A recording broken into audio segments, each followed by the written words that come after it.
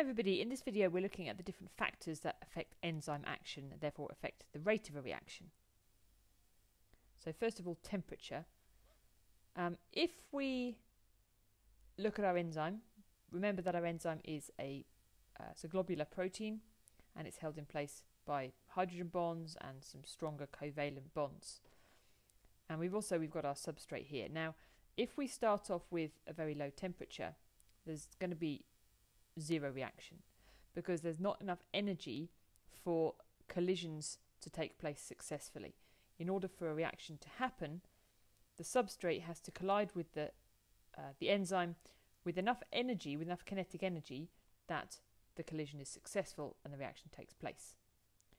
If we increase the temperature, then that means that both our substrate and our enzyme molecules are moving a bit faster. So when they collide, they collide with more energy, reaction is more likely, and also the collisions are more frequent because the molecules are just moving around faster. If you keep doing that, keep increasing the temperature, you keep increasing the kinetic energy, which means you're just making the molecules move faster and faster, so collisions are more frequent and more likely to be successful. And that goes until you get to the maximum. So this is our optimum temperature, the temperature at which you have a, the highest rate of reaction. Okay, the other thing to remember is, of course, that our substrate is moving, but the enzyme molecule is also moving. So if our enzyme molecule is also moving, then it's moving, and as you get to the optimum, it's going to be moving very quickly. And that means that all of the atoms are moving and there's lots of vibrations. And you're going to get to a point where the kinetic energy is so high that some of their bonds start to break. So up until this point, as we've increased our temperature, we've increased the rate of reaction. But the kinetic energy now is so high that if we increase the temperature further, we start to break some hydrogen bonds. Now, if we break this hydrogen bond here, that's going to cause a problem because this hydrogen bond is holding these amino acids together, okay, which is keeping the shape of this section of our protein. So without that hydrogen bond, we see a change in shape in our protein, and therefore we've also had a change in shape in our active site.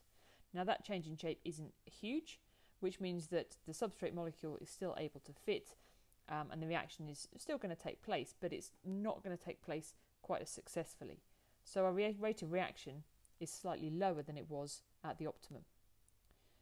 If you keep increasing the temperature again, then the kinetic energy is just going to keep increasing and we start to break other bonds. So this bond here will get broken. And that bond is holding this section here together. So without it, we get a much another big change. And we've now had a really big impact on the shape of the active site. So even if the substrate collides with the enzyme at the moment, it's unlikely to result in a successful reaction. So we're decreasing the rate of reaction because the temperature is denaturing the enzymes. The shape of the enzyme is changing and therefore the shape of the active site is changing and is no longer complementary to the substrate. Now, not all enzymes are going to be affected at exactly the same point. So, if you increase the temperature past the optimum just a little bit, then some enzymes are going to start to denature, which means that their, their active site may change a little bit. Some enzymes may not. So we've still got quite a high rate of reaction. But as we go further, the effect on the active site is going to get bigger and more enzymes will be affected until all of the enzymes are completely denatured and you have a rate of reaction of zero. Um, the effect on pH is very similar,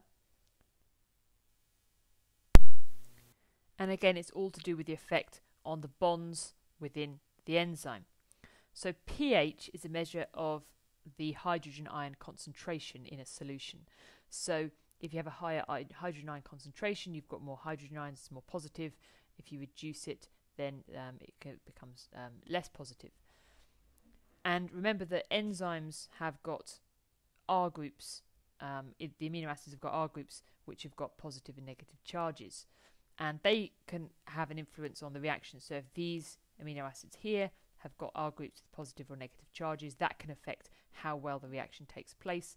um, and it also affects the bonding.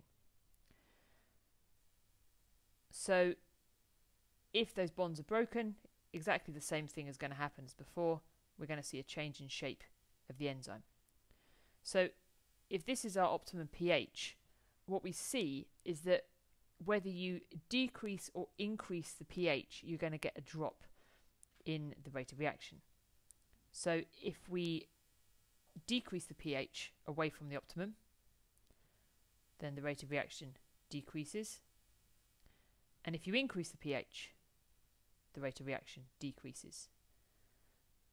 So here is our optimum pH for this enzyme, and you can see that we have a roughly symmetrical curve on either side. Okay, the shape is roughly symmetrical. Different enzymes will have different optimum pHs. So there might be another enzyme which has uh, an optimum pH which is slightly lower, but it still say, she, it still shows that same sort of symmetrical curve about the optimum. And you might have another pH, uh, another enzyme which has an optimum pH which is slightly higher. Okay, let's look now at the effect of enzyme concentration. So if we plot a graph of enzyme concentration against the rate of reaction, um, then we can see uh, what's going on. If we start off, here are our substrates, and we're going to keep the substrate concentration constant. We're just going to change the concentration of enzymes. So to begin with, let's say that we have uh, an enzyme concentration whereby each enzyme is able to combine with a substrate molecule.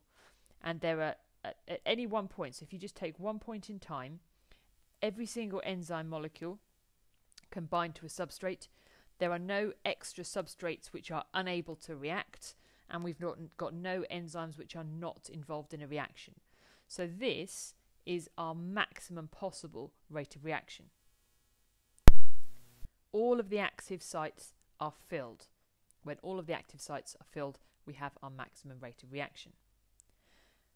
So if you moved away from that, if you increased the number of enzymes, so if you increase the enzyme concentration, this extra enzyme cannot increase the rate of reaction because it's empty.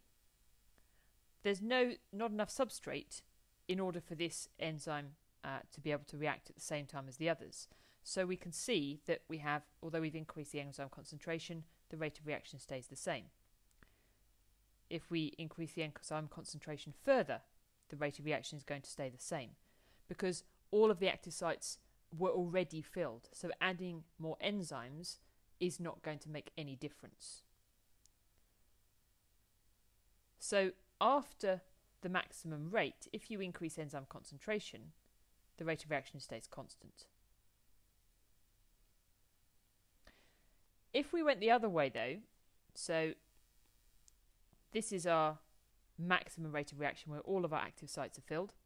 If you reduce the enzyme concentration, then what we've got now is a situation where all the active sites are filled, but we've got substrate which is not involved in a reaction.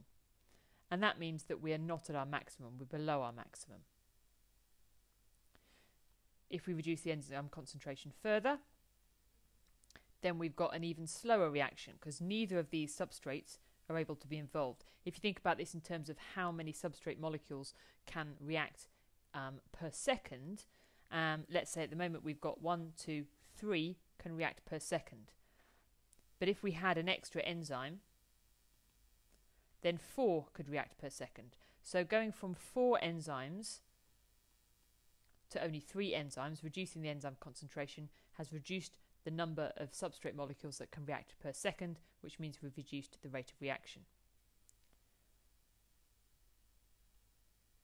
And we can keep doing that until we end up with an enzyme concentration of zero, in which case our rate would of course be zero.